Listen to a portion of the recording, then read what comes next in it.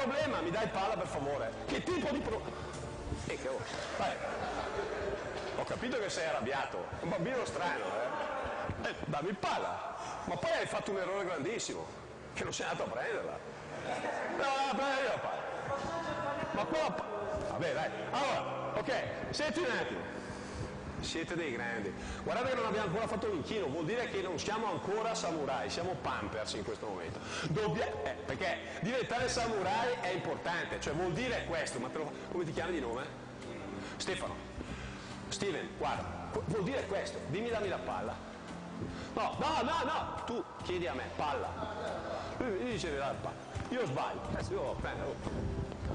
Io, io, io sono abituato così, eh, cioè, vado a prendere, torno, oh scusa,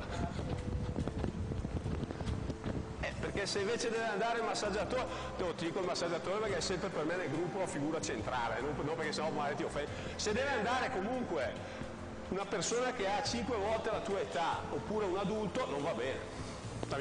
Allora, detto